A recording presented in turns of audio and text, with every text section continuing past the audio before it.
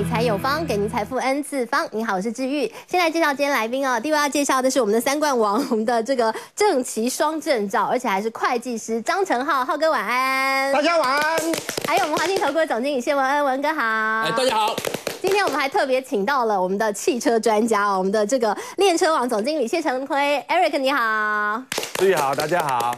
好，来，我们看今天准备什么样的主题哦。首先，我们请到了这个艾瑞克先生来，要跟我们好好介绍一下什么叫做自动驾驶哦。那么，自动驾驶现在这个技术呢，又已经发展到什么样的一个境界了？特别呢是，哎，先请坐，请坐，待会待会，呃，我们待会呢还要跟大家来讲，因为 Tesla 呢今天呢突然间财报告诉大家转亏为盈，所以呢大家就说哇，这个 Tesla 接下来是不是很有机会呢？待会一并告诉大家。另外呢，今天有新股上市，就是台湾高铁。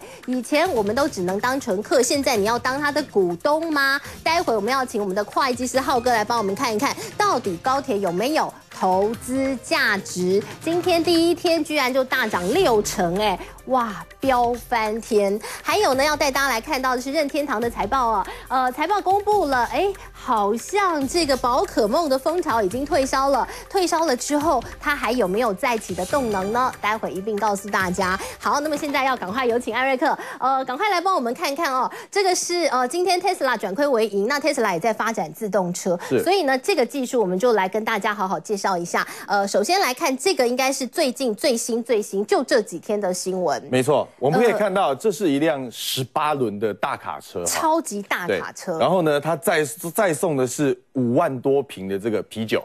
载啤酒，载啤酒，对，进行了一项什么任务呢？嗯，行驶两百接近两百公里的一趟这个啤酒运送的任务。然后呢，车子就是自动驾驶，自动驾驶，哇，没有人在开这部大卡车哦，很恐怖。在这两接近两百公里的里程当中呢，哦，这个卡车以时速八十八公里的时速自动驾驶在这个高速公路上，八十八公里算快哎，对，没错。因为像我超速啊，我都不敢。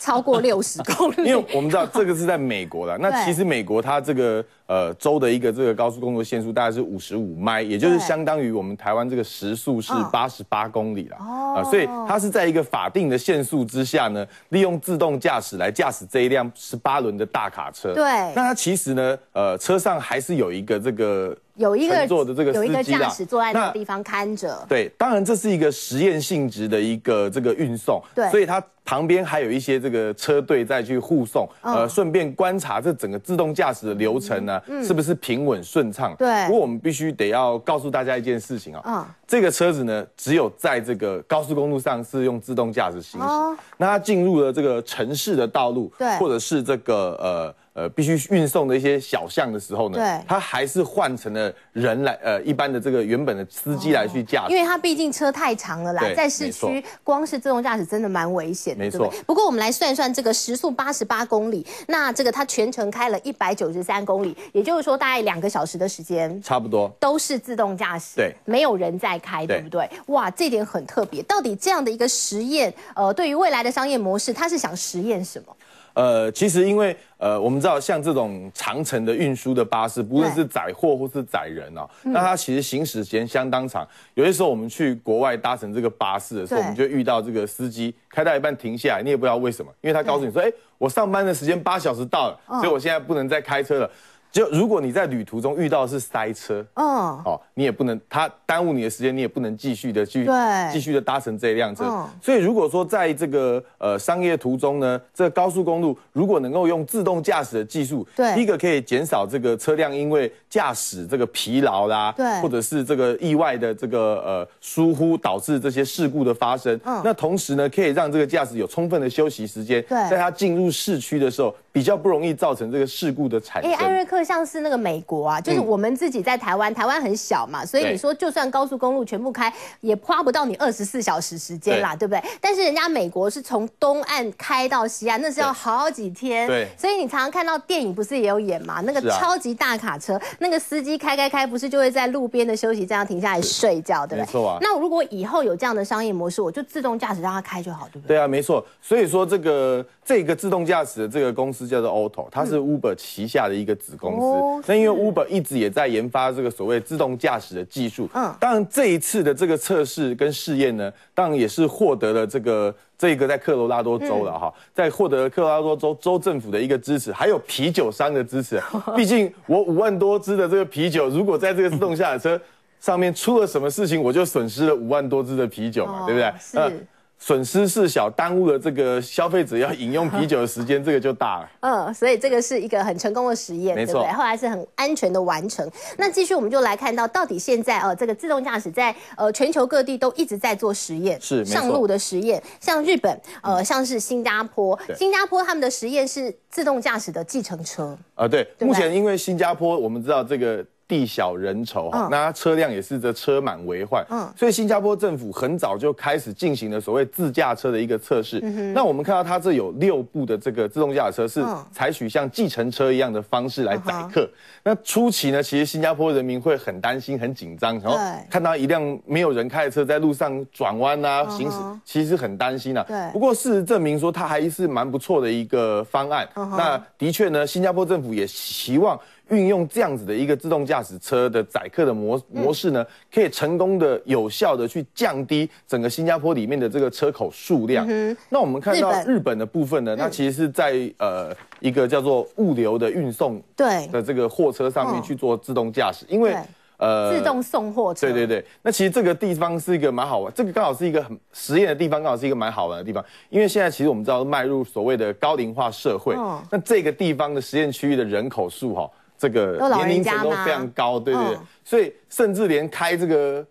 快递车的司机年纪都很大，那其实这对于这个交通事故上面的这些发生都是一些隐忧啦。嗯所以那自动驾驶车如果可以达成自动送货啦，甚嗯至说你看它像这个车，车门一打开是一格一格一格的货哎，仓哦。听说就是我是那个收货人嘛，对然后呢，我就去预定，我就上网预定说，哎，我什么时候家人在家，你来送货给我。然后呢，自动驾驶就会开开开开来我家附近，然后我就去给他按密码，对然后我就自己把东西拿走，对这样对不对？比如说至于你的东西在这个箱子里面，哦送到你家之后，它箱子门就会打开，然后我就可以你你的把东西拿走了，对。对不对？就完全自动化，这个是目前除了自动驾驶，还有自动的这个仓储。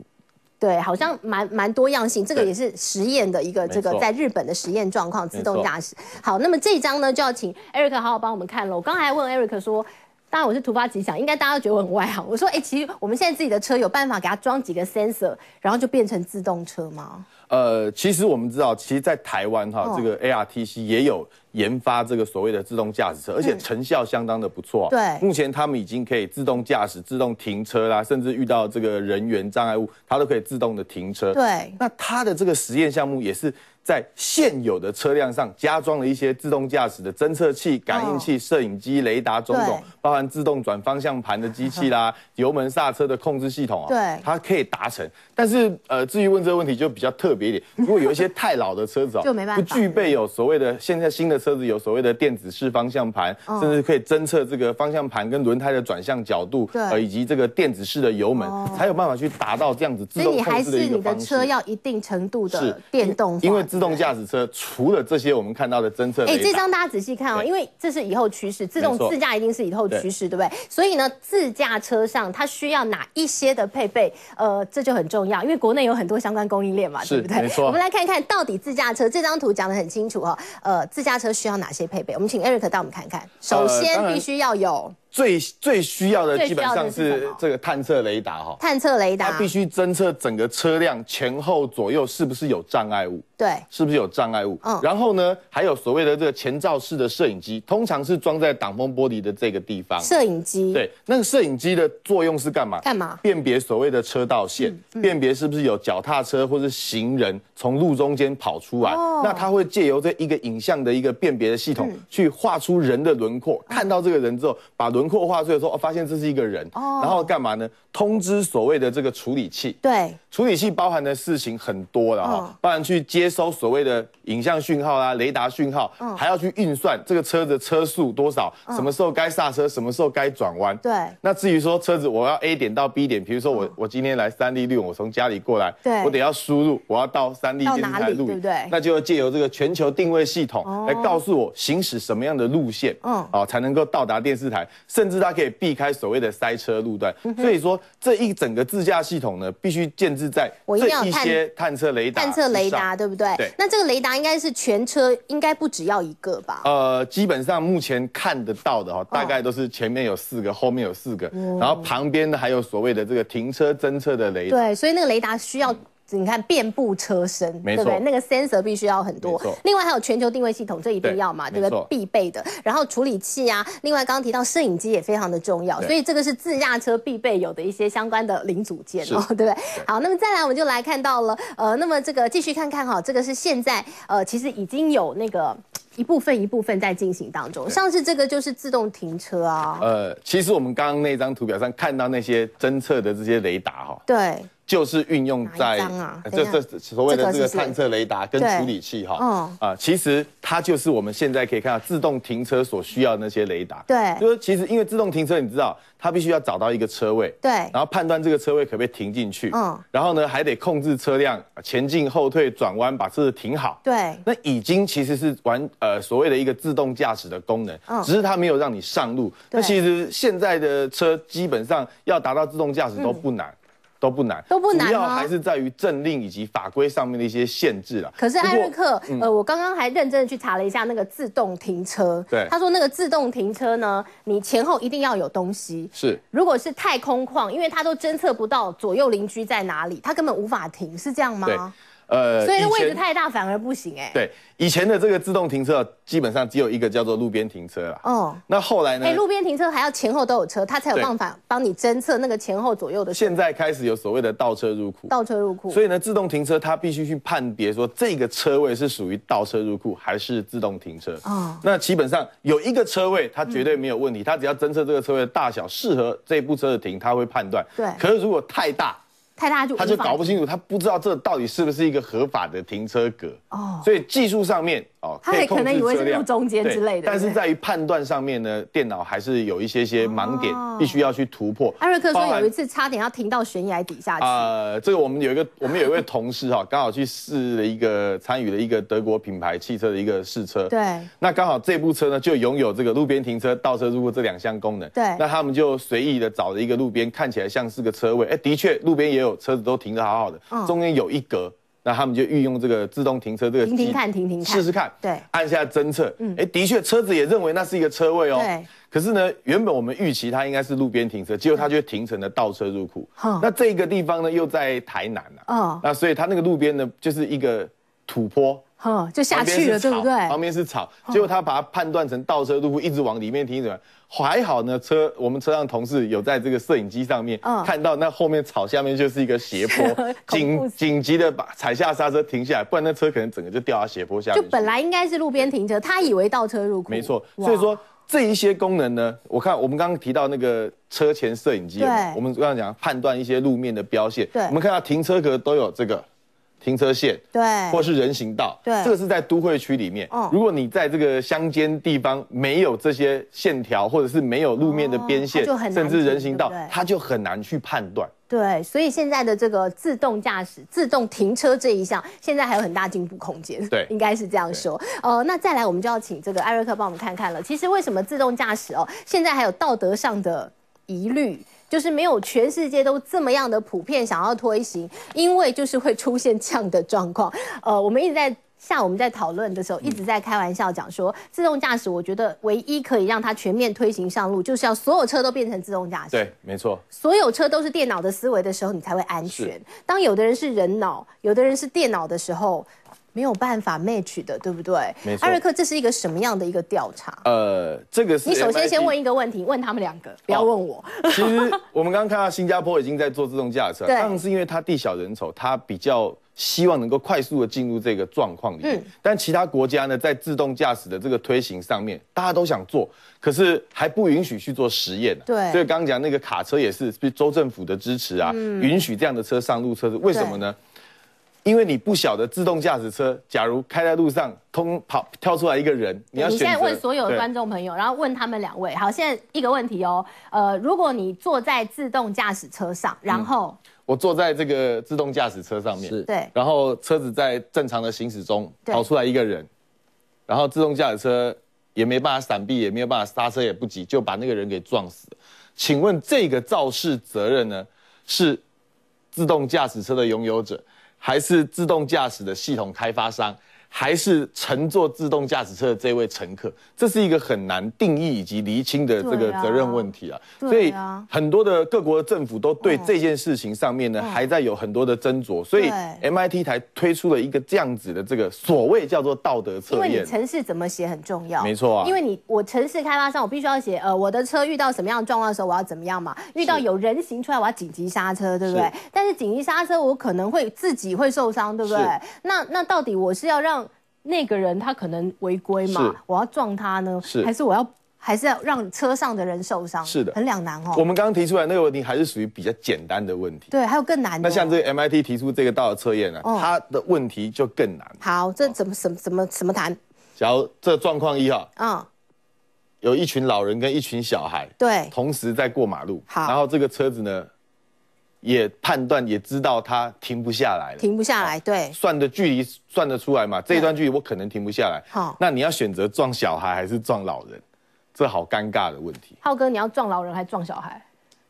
真 的太难判断了。这不太难判行啊，没办法对不对？再来像这一种嗯，，OK，这个另外一个状况，对，这是一个遵守这个红绿灯的这个人在过行人斑马线，对，这是一个闯红灯的，嗯。闯红灯的人在过行人斑马线。嗯，那我问你，你要选择撞撞闯红灯啊。你要开去这还开去那？那所以啦，自动驾驶系统如果是这样的定义法则，嗯。自动驾驶系统必须判断哎，其实哪一个是红灯，哪一个是合法，哪一个是非法，所这些以很难。非常难解决的道德上的问题，写程式的人都要写进去。哎是啊，是啊，对对是啊。所以我们刚刚提到啦，前方摄影机可以看到这个人的形状哦，辨别他是一个行人，对所以他会紧急刹车，避免造成。比较重大的伤害，那无论刹不刹得住了哈，他必须得要先刹车。嗯对那如果在这个情形之下，他系统是不是得要判别，还要判别这个人是年纪大还是年纪老？对他是靠什么脸部辨识吗？还是皱纹辨识？男生女生高矮胖瘦？这就这是一个非常难的技术了。对，所以呢，你看现在还是有一点点这个，所以才说要全部都电脑思考，是啊就 OK 没问题，是啊没错啊对不对？哈，应该是这样说嘛，对不对？好，那这个就非常谢谢我们的这个艾瑞克，今天来跟大家分享，这个是自动驾驶的技术，呃，毕竟还是未来的趋势啦。所以呢，哎，这些道德问题，只要是全部通通都是自驾车，应该是可以解决的。好，那所以呢，赶快来有请这个文哥帮我们来看看。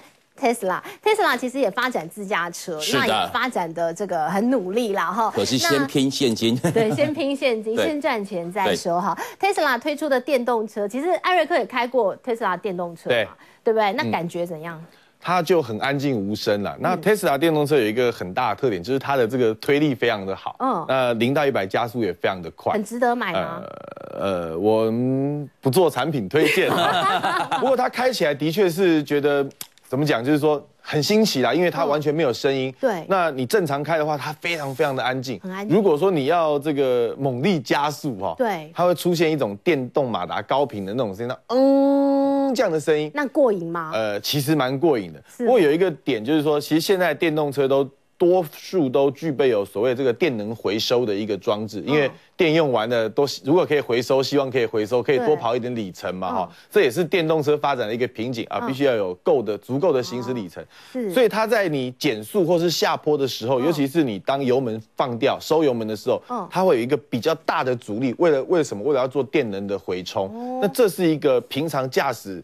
比较不容易习惯的一个这种顿挫的一个这样的感觉，哦那个是这个是在 Tesla 电动车上比较容易发生的问题，对，但是还是新奇啦。还是新奇。还是新奇啦，所以呢，我们来看到 Tesla 终于赚钱了。是的 t e s l a 从它盘古开天那一天开始都没赚过钱。没错，这一次的财报，其实大家没有人预期它赚钱，对，突然间公布它就赚钱了。我们来看财报在这里，第三季 EPS 是零点一四块，然后去年但赚很少啦，但是对赚钱了啦，对对不对？这是一个里程碑。是的是嘛哈，所以呢，我们来看到这是 Tesla 的股价嘛哈，呃，从最高跌噔噔噔噔噔噔跌下来嘛，那大家要先知道说这一段为什么会跌成这样子？为什么这是 Tesla 亏转盈很大的一个所谓转捩点。为什么？因为在这一段的时候，在两百多块钱哦，当时 Tesla 开始推 Model 三，那你知道 Model 三推出来的时候多夸张？你知道，跟好像在大家把买车。跟买菜画一个等号。好，因为之前的 Model S 太贵了，一台要六万多美金。那 Model 三只是 Model S 的一半价格，所以说吸引到大家大排长龙。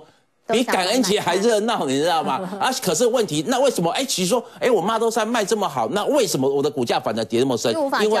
对，因为根本没有办法交车，因为产能的一个所谓不足。那这一波这次为什么呢？我他我们所公布出来的财报这么样的靓丽，因为。主要的状况就来自于说，他之前没办法交车的一个所谓窘境，已经得到的一个所谓有效解决。大家说啊，你根本没办法交车，你给人家收这么多订单，你根本是没办法如期在二零一七年交车。就他真的可以交，可以交车，而且陆陆续续已经，而且他的一个所谓速交车速度还比预期来的这。快，所以说造成他的财报公布出来非常非常可观，所以它整个状况是完全的改善，对，完全改善。所以呢，特斯拉又赚钱，那这个股价是不是也很有机会？那提到了这个特斯拉，其实在盘后就已经大涨喽。所以呢，今天国内的一些相关的电动车概念股，对，表现也很好哈。像是这些呢，像和大茂联，这个是最直接被连接的嘛？建林啊，建和新、湖联康舒，是的。其实电动车我们直接连接就和大跟茂联，那他们之前其实跟着 Tesla 的股价修正，他们也下来一大。没错，所以现在是不是又是机会了？基本上的话，如果说就中长线的角度，我是非常看好一五三六的和大。为什么？因为你要去了解说一家公司它到底做什么的。我说真的啦，并不是说我们刻意不看好茂联，因为我觉得茂联它是做连接线的。可是问题连接线它的进入门槛，它就本来就是比较低。好，不管包括正威、正威郭台铭董事长说我们要做做连接线，谁不能做啊？对，包括正威、包括信邦哈，包括建和新，每一个人都要做连接线，所以它竞争本来就非常激烈。可以仔细观察一五三六的核大，它基它是做一个所谓齿轮的，哦，减速变速箱齿轮。那你也知道，未来的一个所谓电动修理车，它所要需要用到齿轮的马达是非常非常的多。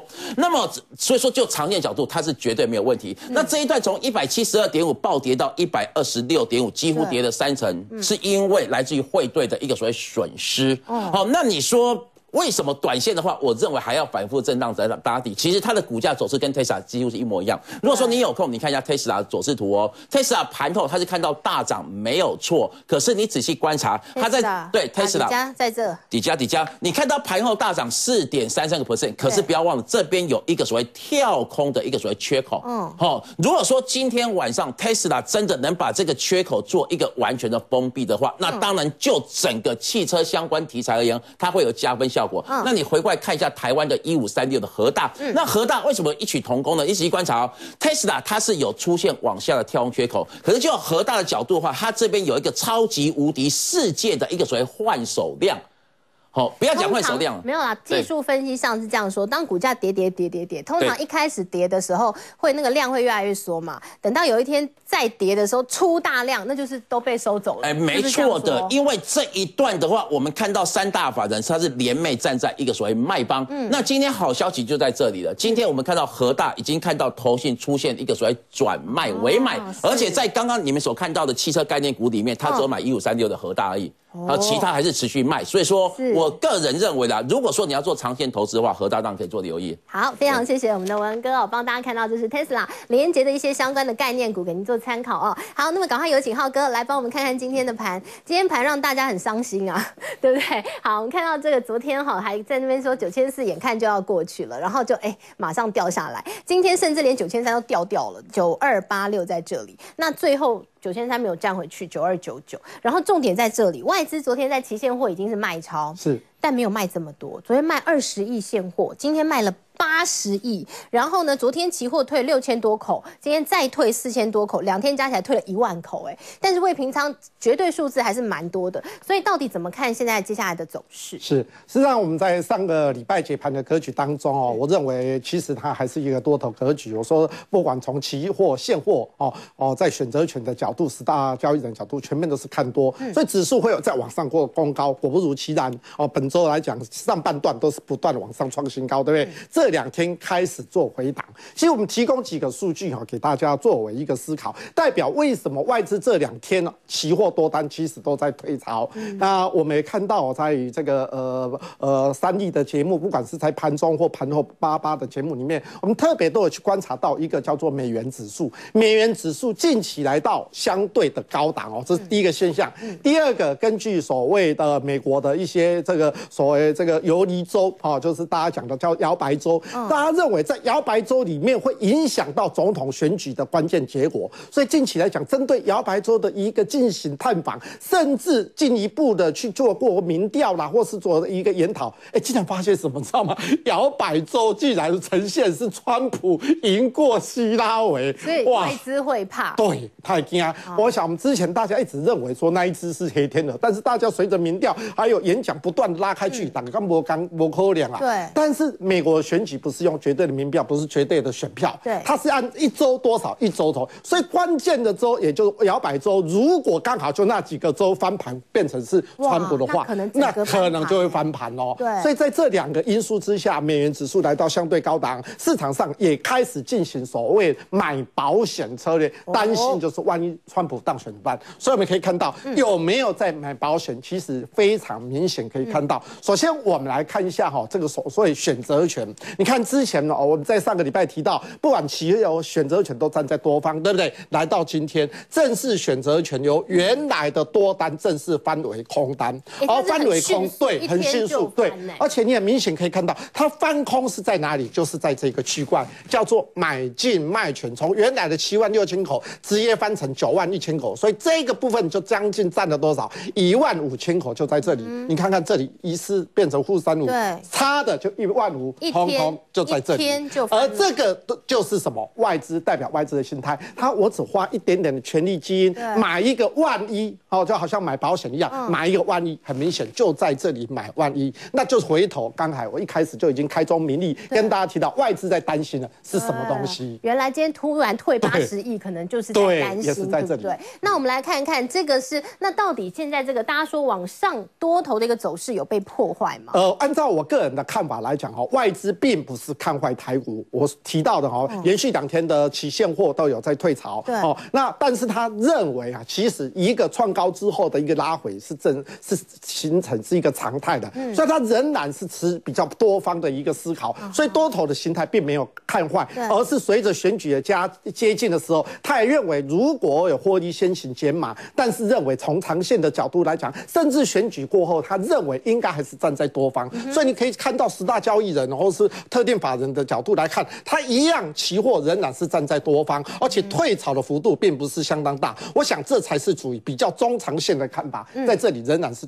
偏多的还是偏多的，对不对？哈，好，那既然偏多，我们就来看明天。明天 我们看经典，看明天。明天是摩台指的结算日。那我们在前两天也跟大家报告了，现在呢，它的一个多单口数是高的，对，对不对？所以呢，明天。怎么看？对，所以我们哦，在以这个所谓茅台结算之前，我们必须要特别留意它换仓的态势的哈。那我提到，今天假设外资已经正式翻空的话，我相信今天从茅台转差哦，转到远仓来讲，逆价差会扩大。但你注意到，它的逆价差在今天是没有呈现扩大的，只是在 OI 的部分增加多哦，增增多，增多代表它避险的需求仍然存在。那避险需求大量增加，但是逆价差不带扩大，那代表什么？代表其实我虽然是买保险了，很多人在买保险，但是从很多做单方面压压单方面的，我认为我是看多的。也就是说，我只看一方向的人，那我是买多。那很多期货或是说现货部位很多人，我要买保险的人，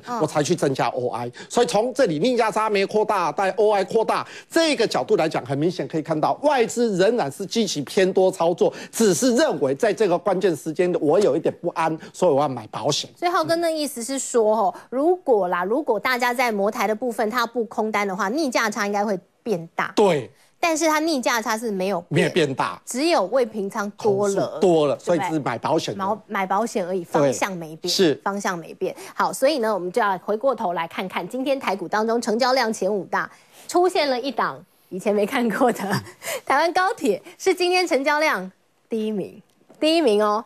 七万九千多张，它居然比友达、群创、红海量都要大。今天大家疯狂买台湾高铁，对，今天是真的疯狂高，因为它今天正式哦到了上市上柜，开始从新柜转上去，所以今天量真的爆的很大，很多人说爆到夸张不得了，很多人想说啊我要投入这个属于国家的一个哈，成为国营的，我也是国营的。这个是呃 现在国内台股当中第十一家，第十一家国营事业上市上市柜的，对对。那我今天早上一直想不通，你知道吗？想说为什么大家疯狂买高铁？对，是因为我常常买高铁票的时候一个不甘心，对，这个不甘心啊！哇，这盖有等下一千块都无去啊，那时候？对，那贵起我来做高东，干脆投资高铁是这样吗？但是你当乘客好还是当股东好？赶快会计师帮我们看呐！呃，我今天一直在帮大家颠算盘看，你知道吗？说它本益比有多高啊？呃，很多大家现在看一般的台股，你说本益比十倍、十二倍、十二倍都在嫌人家高，哎，对。啊，你知道它的本益比有多高啊？它今天这样冲上去，二十几倍本益比哦，是，所以哦，来，对，首先我我先先做结论，好，要是我我会当乘客就好，好，对，那我要评估，我们从三个方向做评估，好，第一个。这家公司到底它有没有呃成长的动能？比如说我苹果，哎，我随着台湾卖的好，美国卖好，我可以卖到中国大陆，中国大陆可以卖到非洲。那问你它有没有办法？它是在台湾，对不对？西半部这里是地震带，它也不可能去绕一周。我想它增加站的几率不高。它也不可能给你开去大陆啊。对，它也不可能开道路。那再来就是很多的观光客有没有可能大量来台？以目前来讲看不出来。即使来的话，要坐高铁来环岛，我想几率也不高。哦，所以它应该是属于一个很稳定的成长有限的一家。公司很稳很稳定，但是成长有限，这是我们第一个嘛，从判断。那你当然就不能够从所谓高度成长啊，你要从价值型投资的角度做出啊，对。不对？好，那我们回过头来，从价值型投资，我们就要看看的，哦，会计师讲的啊，对对，省爱丽省爱省干美和，很多人就看着二零一五年哦，它的获利数字是两百零八亿，他说哇，那这这两百零八亿，他那时候 EPS 赚七块，对，他是只有一次性，因为他有一个优惠票，所以只有一年，那一年以后不会。有了，以后大概每一年大概以法人预估大概是三十五亿到四十亿，万年之三十五亿到四十亿，换成 EPS 的话大概是零点六二到零点六五左右，每年赚 EPS 零点六二到零点六六毛，对，六毛五，对，到六毛五左右。所以你用今天二十四块的收盘价去换算的话，它的 EP 它的。本益比很高，很高。这哦，那当然我们在看这种所谓稳定投资的，尤其公共建设的，我们会看什么？叫做看的叫做 PV，叫做股价净值比。哈，那后面有一个 R，就是未来的股价净值比，一年以后的股价净值比，它的净值大概十一点六。今天股价二十几块，二十四块，对不对？换言之，它的股价净值比多少？是二块二倍以上，二点零七哦。那这样会太高？二点零七贵不贵？我举一个给你做参考。好，日本叫做东海，大概是一点四。那有没有很高？我是觉得还蛮高的。好，那第三个最后就说好，那我我长期给你配息嘛。对。好那配息来讲，假设我刚才讲它获利是零点六二到零点六五哦。对。假设好它它通通配给你。它去年配配零点六五。零点六。那我今年以后每年都配零点六五给你好好。零点五下去算一下，殖利率二点七，以长期投资来讲，二点七股票来讲应该算是不是那么高。对。所以我认为从这三个指标来讲，我觉得。它的股价如果冲过二十四、二十五以上，那你就要稍微思考一下。假设你的钱已经多到除了定存之外都没有办法放的时候，你再来思考。如果不是的话，我认为还是保守一点，保守一点哈。好，非常谢谢浩哥，今天赶快帮我们来看高铁哦。呃，浩哥的结论是，呃，就当乘客就好，我们就去买票就好了，好不好？呃，不一定要当他的股东了哈，给大家做一个参考。好，我们休息一下喽。下一段回来，我们要带大家来看看任天堂的财报。这宝可梦的风潮已经退烧哎，还有呢，今天浩哥在现场，当然是专业的。会计师帮我们来看看下午公布的很多的财报数字，包括像友达、像旺宏、像日月光、台骏这些财报数字到底好不好呢？怎么看呢？待会马上回来。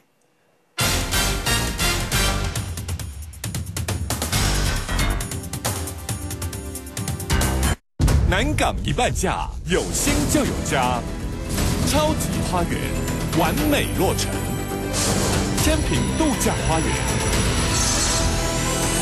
自备九十万起，买房谈装好，全民轻松有家，超级花园。